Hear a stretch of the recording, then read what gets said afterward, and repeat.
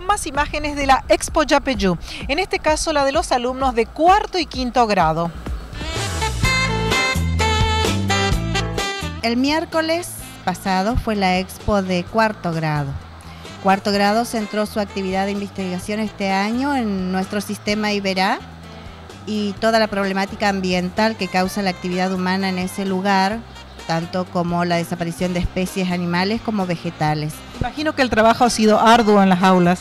Sí, muchísimo, pero a los chicos les gustó mucho. Los maestros, por supuesto, tienen el trabajo de entusiasmarlos, de hacerles ver la importancia de preservar ese territorio.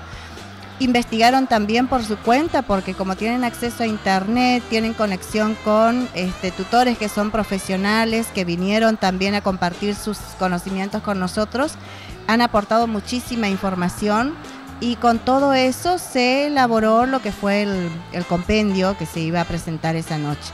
Chicos, papás y profesores trabajaron para esto. Exactamente, siempre se busca la, colaboración de algún tutor profesional que pueda aportar su conocimiento, ¿no es cierto? Vienen, dan sus charlas, sus conferencias y los chicos participan. ¿Los alumnos de quinto? De quinto grado trabajó sobre basurales a cielo abierto, un gran problema en nuestra ciudad en este momento, que a pesar de todas las, las el trabajo, mejor dicho, de municipio, del gobierno, no se logra erradicar, ¿no es cierto? Entonces, investigaron acerca de las responsabilidades que competen tanto al gobierno municipal como a los ciudadanos.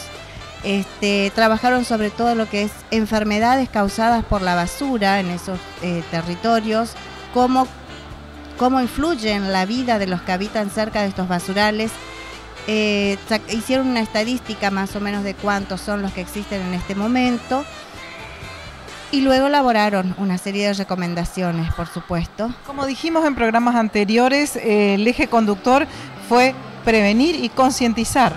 Es prevenir, concientizar, cuidar la vida, en resumen, este, y eso es el mensaje que se quiere transmitir.